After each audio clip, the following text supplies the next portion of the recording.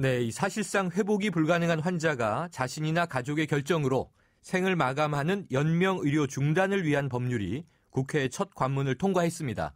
이른바 웰다잉법인데요. 이 법이 갖는 의미와 연명 의료 중단의 조건에 대해서 윤영호 서울대학교 의과대학 연구부학장과 자세한 이야기 나눠보겠습니다. 교수님 안녕하십니까? 네, 안녕하십니까? 네, 이 법안 이름이요. 네, 호스피스 완화 치료와 연명의료 결정에 관한 법 이렇게 깁니다. 네. 먼저 이 법안의 구체적인 내용 설명 부탁드릴게요. 그 크게 네 가지로 설명을 드릴 수 있을 것 같습니다. 우선 네.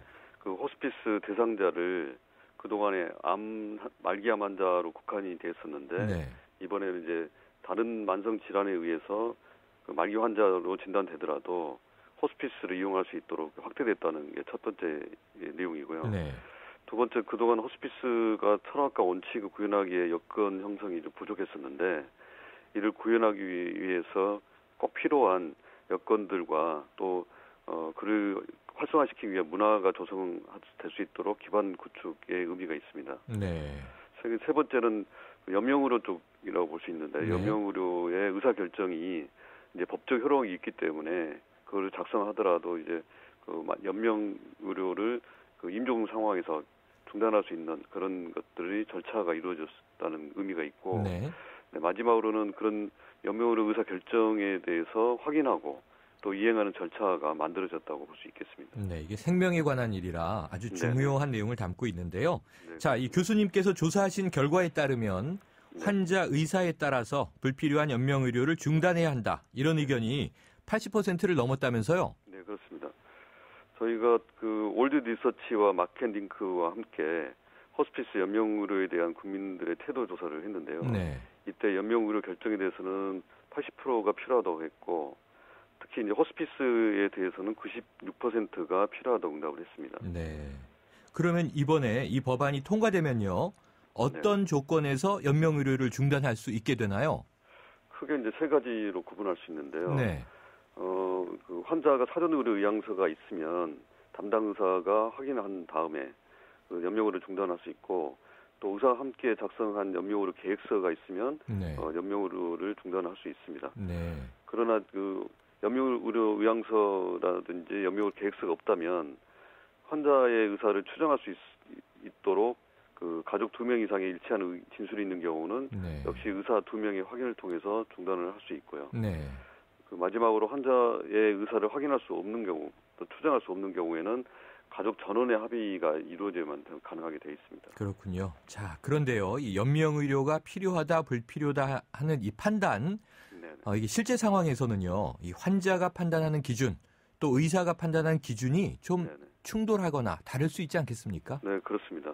그래서 말기암 환자에 대한 정의도 좀 잘못 이해되는 부분도 있고, 네. 또 죽음이 임박했다는 그 상황에 대한 판- 의학적 판단에 대해서도 그 환자나 또 가족들과 의견이 다를 수 있습니다. 음, 그래서 이런 경우는 어, 그 각 병원마다 의료기관 윤리위원회를 구성하게 되고 거기에 종교인이나 인발인이 참여해서 네. 전원 합의에 의해서만 그 연명으로 중단하게 되는 그런 절차가 반드시 필요하게 되어 아. 그렇군요. 네. 자, 아까 말씀하실 때 환자의 의사를 알 수 없을 경우 네네. 가족을 통한 대리 결정이요. 이때 가족들의 결정이 이 환자의 생명권을 침해할 수 있는 것 아니냐 이런 지적도 있는데요. 네. 이 대목은 어떻게 보세요? 바로 이제 그런 우려를 그 해결하기 위해서 반드시 그 연명으로 중단하기 위해서는 의사의 그 확인이 꼭 필요합니다. 그래서 네. 두 명의 의사에 의해서 그 확인을 하고 또이두 명의 의사가 의학적 판단이 이루어져야만 됩니다. 그래서 이런 경우에 그 생명권의 침해를 방지하기 위해서 반드시 가이드라인이 만들어져야 되고 네. 이런 가이드라인 사회적 합의를 통해서 이루어져야 될, 것- 될 것으로 봅니다. 네. 자, 이 국민들이요. 연명의료 네. 중단 결정과 함께 또 이제 너무나 필요하다고 느끼는 게 바로 호스피스 완화 의료지 않습니까? 네, 그렇습니다. 그런데 아직까지도 좀 정보가 부족해서 이용하지 못하는 분들도 많다고 하는데요. 네네. 이 호스피스 완화 의료에 대해서 간단한 설명 부탁드릴게요. 네. 어, 호스피스란 그 말기 상태에 되거나 또 임종 과정에 있는 환자와 그 환자 가족의 고통을 줄여주기고 또 삶의질을 향상시키기 위해서 예를 들어 적극적으로 통증 관리를 한다든지 네. 그다음에 심리 사회적인 그 관리를 지원해 주거나 특히 그 영적인 차원에서 삶의 완성으로서의 삶의 마무리를 할 수 있도록 도와주는 그런 의료 행위를 호스피스라고 하, 이야기할 수 있습니다. 네. 자, 그런데요. 이 암 환자 대부분이 우리나라의 경우에 이 대형 종합병원에서 치료받는 경우가 많잖아요, 교수님. 네, 그렇습니다. 네. 근데 아직까지 이런 대형 종합병원에도 이 호스피스 병동이 없는 경우가 많다고 하는데 그렇습니다. 네. 이건 좀 문제죠? 그래서 저는 그 부분에 대해서 매우 부끄럽게 생각을 합니다. 네. 실제로 말씀하신 것처럼 마- 많은 환자분들이 치료받는 것이 이 대형 종합병원인데 네. 국내에서 보면 빅5라고 할 수 있는 다섯 개 병원 중에서 유일하게 성모, 서울 성모병원만이 이런 호스피스 완화의료 센터를 가지고 있습니다. 네. 그래서 이제 이런 것을 그, 그 병원의 문제도 있겠지만 정부가 이런 그 대형 종합병원들이 음, 호스피스를 할 수 있도록 그 참여를 유도하는 방안을 마련하는 게 꼭 필요하다고 생각합니다. 그렇군요. 이 사실 병원 하면 사람을 살리는 곳인데요. 역설적으로 병원에서 참 많은 분들이 돌아가시지 않습니까? 네, 그렇습니다. 이 해외처럼 가정형 호스피스 좀 자리 잡아야 되지 않을까요? 우리나라에서도 국민들의 60%가 집에서 임종하기를 희망하고 있습니다. 네. 그래서 병원보다는 가정에서 임종을 하고자 할 때 의료진이 그 가정 방문해서 또 진료를 할 수 있고 또 필요하다면 병원에 입원할 수 있는 것을 제공해야 되는데 음, 일본 같은 경우도 의사가 실제 그 가정 호스피스를 담당하는 해서 가정 방문을 해서 진료 서비스를 해주고 있고 네. 미국 같은 경우는 임- 임종 직전에는 24시간 동안에 간호사들이 교대하면서 환자를 음. 간병 간호해주기 때문에 네. 환자도 편안하게 집에서 임종할 수 있고 가족들도 안심할 수 있을 것 같습니다. 그렇군요. 자, 우리가 유한한 인간이기 때문에 누구에게나 생의 마지막 순간이 찾아오게 되는데요. 네. 질병으로 이 돌아가시는 경우도 있고 또 불의의 사고로 갑작스런 이별을 고하는 경우도 있습니다. 네네. 자, 교수님께서는 이상적인 죽음 어떻게 생각하십니까?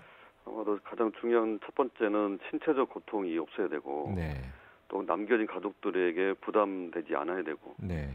이제 그러면 그러면서도 두 번째로는 이러한 죽음이 피할 수 없다면 그동안의 삶의 의미를 부여하고 삶을 정리하면 정리하면서 그 삶을 완성으로 받아들이도록 하는 거가 두 번째로 중요할 것 같고요. 네. 마지막으로는 내가 사랑하던 사람들에게 그동안의 사랑과 용서를 이야기하고 음. 고마웠다, 사랑한다는 이야기를 남기고 그래서 편안하게 죽음을 맞이하고 남긴 가족들에게는 그 삶이 이어질 것이라는 그 믿음을 가지고 네.